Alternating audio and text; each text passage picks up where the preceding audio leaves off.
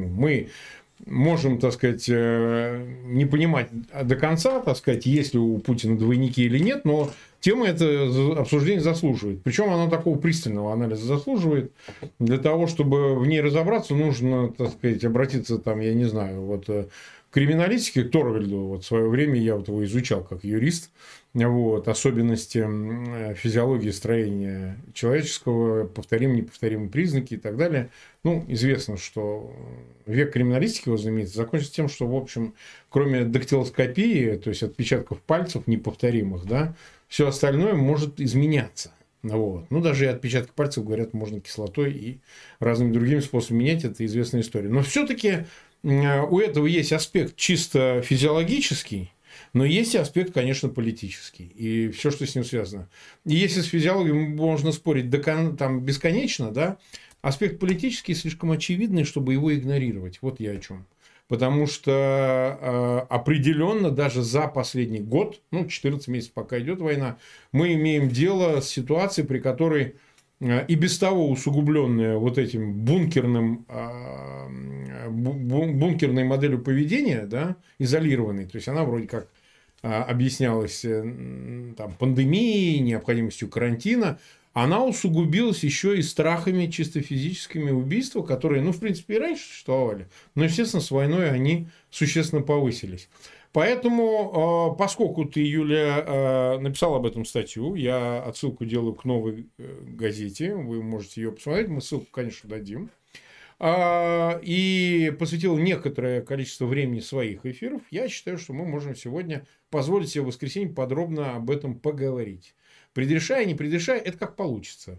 Вот. Последнее, о чем я хочу сказать, те 17 тысяч, которые к нам присоединились, у меня просьба огромная, пожалуйста, Ссылки на этот эфир все-таки размещайте в своих аккаунтах в социальных сетях, группах.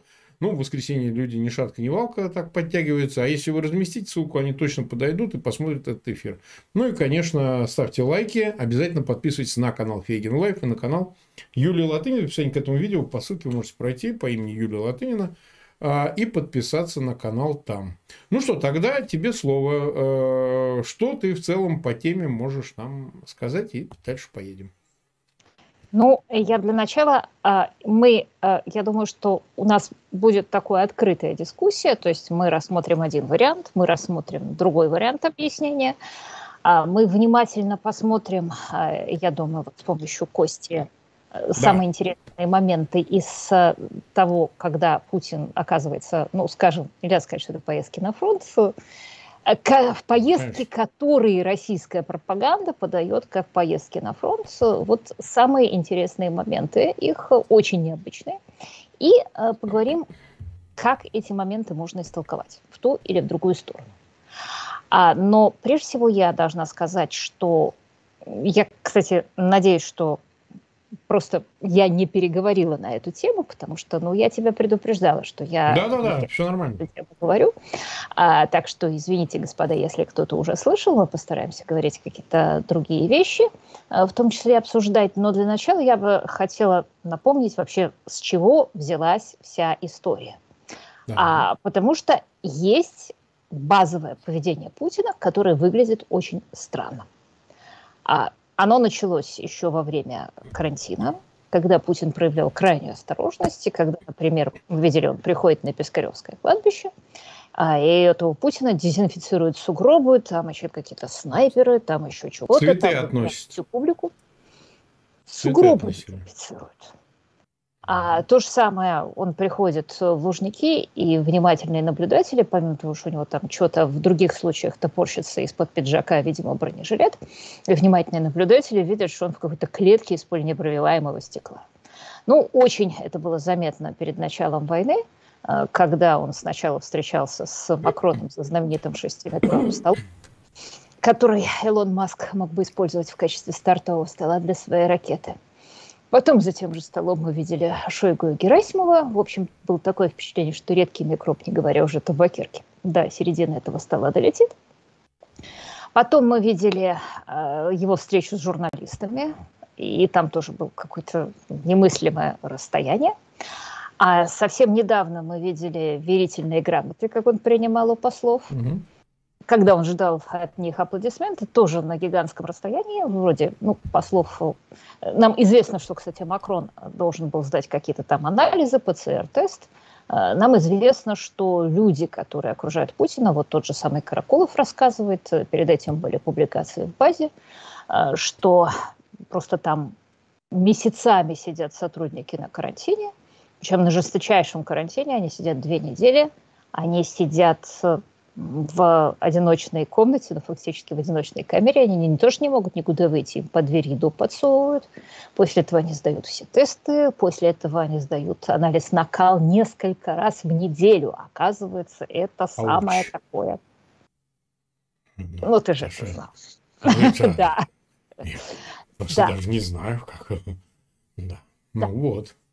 А, вот, э, значит, то же самое мы видели, когда он куда-нибудь летал, например, он на Каспийском саммите в Туркменистане, был стол такой гигантский, квадратный, он сидел за одной его, кус, одним его кусочком, там можно было, в общем, бассейн разместить внутри этого стола, и то же самое была встреча по Афганистану с представителями Средней Азии в Москве, там тоже был такой уже гигантского размера стол, только круглый.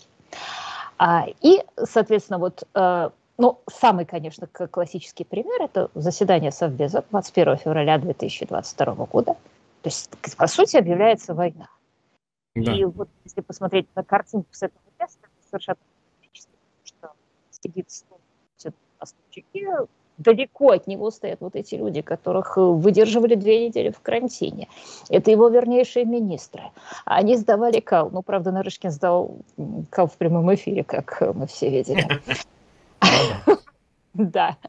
И вот они сидели, у меня даже было впечатление, ну, ребят, ну, провозгласите его императором и на трон посадите. Вот э, индийский махараджа какой-нибудь сидел приблизительно на таком же расстоянии от подданных, и хоть будет какая-то мотивировочка. А при этом еще не все, потому что теперь мы знаем про специальный бронепоезд, потому что Путин боится летать э, с прилагающейся к нему специальной железной дорогой. А, мы там перед началом войны видели фантастическую картинку на Олимпиаде в Пекине, где опять же сидит Путин один в вип-ложе, а, дремлет, э, нахохлившийся, никого вокруг него нету. Такое космическое одиночество. Хотя, правда, вот когда Си Цзиньпин приехал, то Путину пришлось пожать ему руку. Я думаю, даже бы ногу поцеловал, если что. Но это уж такое дело. А, да, а, три одинаковых кабинета в резиденции, чтобы враги не знали, где именно он ну, сейчас да. находится. Это мне просто напомнило, Калька, видимо, он Иосиф Флавия внимательно читал, там царь Ирод никогда не ночевал в одной спальне. А, ну и не говоря уже, конечно, о бункерах. Чем не совсем понятно, чего этот Путин боится, потому что одна из очевидных вещей – это микробы. Но, в общем, бронепоезд к микробам не имеет отношения – так что там, видимо, и микробы, и табакерка, и американские томогавки. И вот э, Стас Белковский мне говорил, что он еще боится враждебных энергетических полей. А, не, можно представить себе, что у него действительно есть какие-то проблемы со здоровьем, и что вследствие определенных процессов у него ослаблен иммунитет. Совершенно точно, что если видишь вот этот бронепоезд, совершенно точно там какие-то проблемы с кукухой.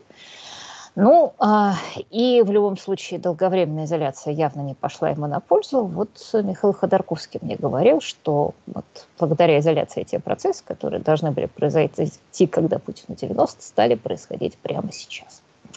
А, соответственно, ну, конечно, вот это зрелище человека, который, с одной стороны, отдает приказы, которые кончаются Бучей и Мариуполем, а с другой стороны, он реально боится подойти к собственным министрам по какой-то причине.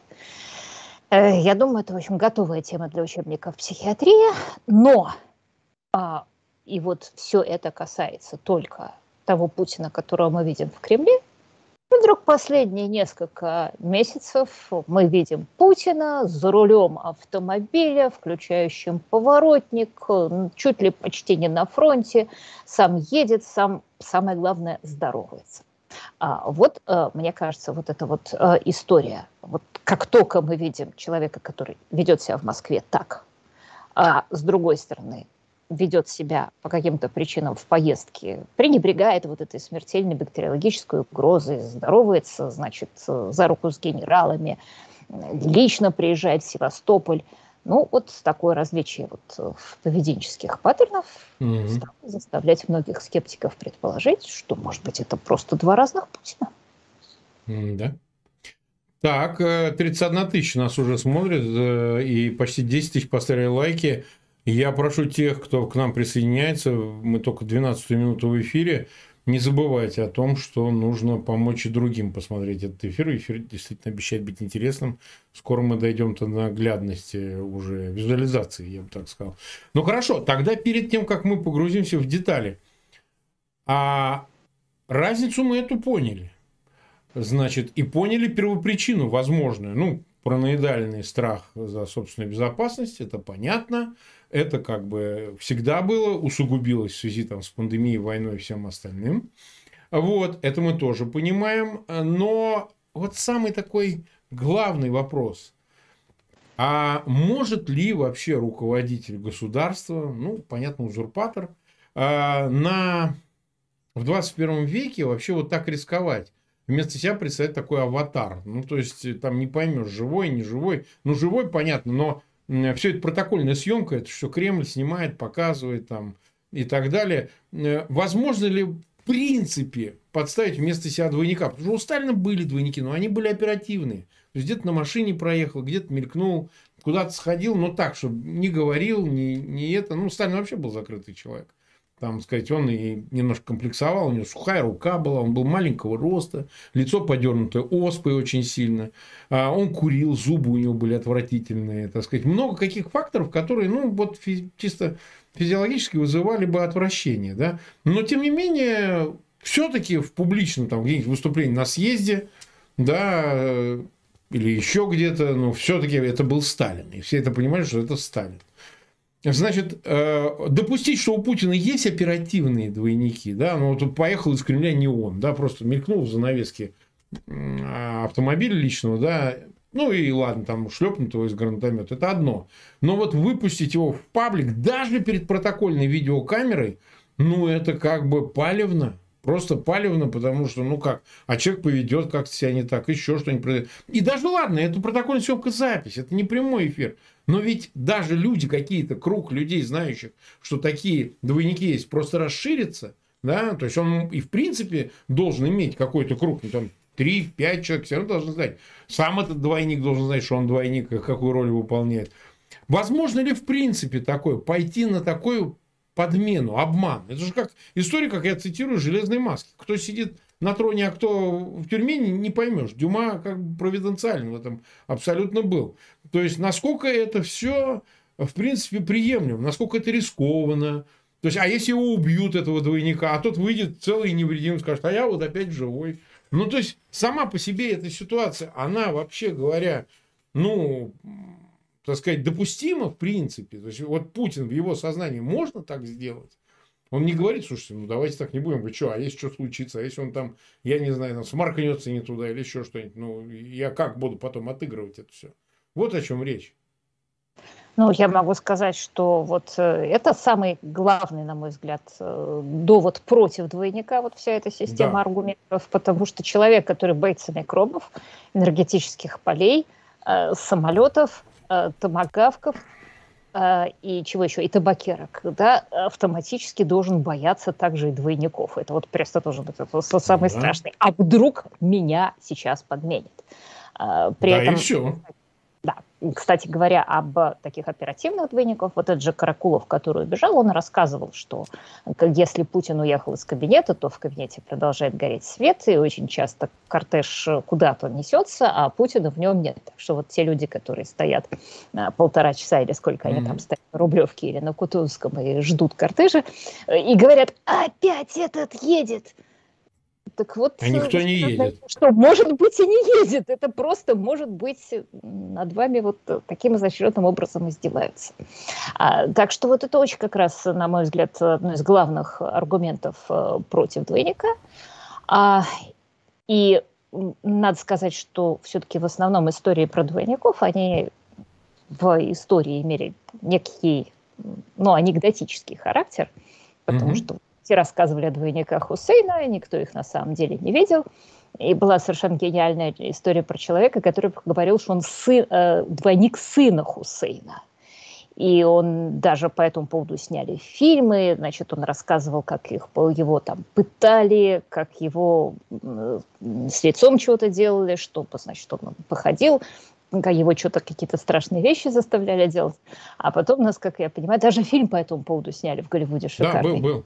Да, я его смотрел. А, в итоге, насколько я понимаю, если это, конечно, опять же, не иракская пропаганда, но, по-моему, нет, этот человек на самом деле был аферист, который, э, пользуясь своим сходством с сыном Саддама Хусейна, ну, в Ираке гулял во все тяжкие, а когда, соответственно, сын накрылся мятным тезом, он переквалифицировался и стал рассказывать, что вот... В общем, это называется патологический лжец, судя по всему, был человек.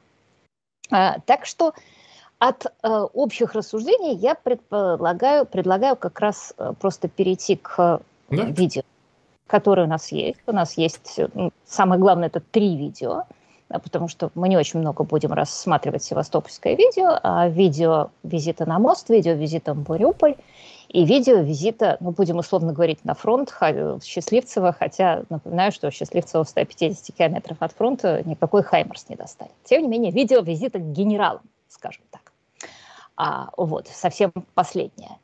И я сразу скажу, что я не обладаю абсолютно никакой компетенцией для того, чтобы анализировать там форму ушей, крылья носа и так далее, и так далее. У меня вообще клиническая нераспознаваемость лиц. Mm-hmm. А, но просто я совершенно точно тут знаю, что если бы легко было этого человека отличить, то была бы масса специалистов, которые, ну, у нас есть системы распознавания лиц и так далее, что они бы сказали, они бы сделали за меня эту работу и сказали, да не, ну, ну смотрите, тут, тут, тут мочки ушей разные, тут крылья носа разные, и вообще о чем говорить. А вот, значит, раз за меня эту работу не сделали, раз нет никаких э, серьезных э, исследований о том, что вот это разное, то будем считать, что человек на этих видео неотличимо похож на Путина. Была формулировка «человек, э, похожий на генерального прокурора», я предлагаю его усилить. Человек неотличимо похожий на Путина. И также не будем рассматривать э, замечательную поездку, которая состоялась э, в конце декабря прошлого года, около 21 декабря прошлого года, э, когда после того, как Зеленский приехал в Бахмут, Кремль вдруг заявил, что Путин побывал в зоне СВО, цитирую, это их цитата. И дальше показались снимочки, и быстро выяснилось, что эта зона СВО была штаб в Ростове-на-Дону. Да. Есть да. бункер в Ростове, и это назвали поездкой на фронт. А до этого Песков долго распинался, что Путин вот-вот э, на фронт поедет, и, соответственно, это вот они пустили. Это тоже не будем рассматривать. Там легко предположить, что действительно был Путин. Великое дело съездить в бункер. Но вот три важных истории, когда он сам за рулем, на самом деле, практически. Угу.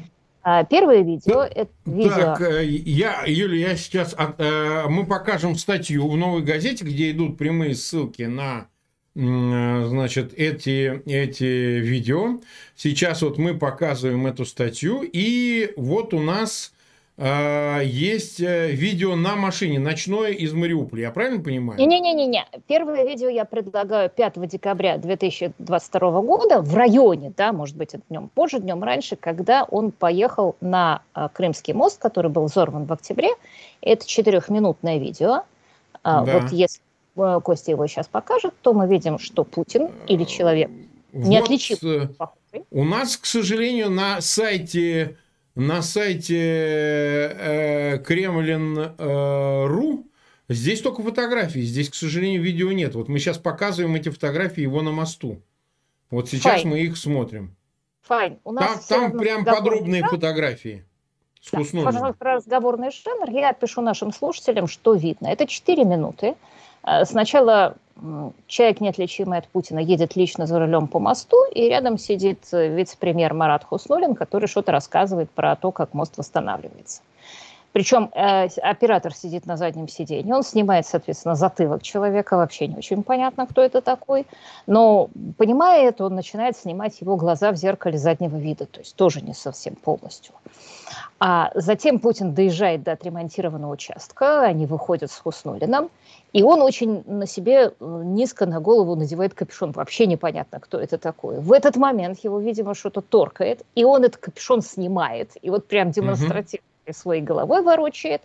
А, доходит а, самое важное. Все это происходит посередине где? то есть с точки зрения бактериологической очень стерильно. А там стоит совсем несколько людей. Но мы можем представить себе, какой ветер гуляет на этом мосту. С одной стороны вода, с другой стороны вода. Он немножечко с ними поговорил и уехал. Вот это первое видео.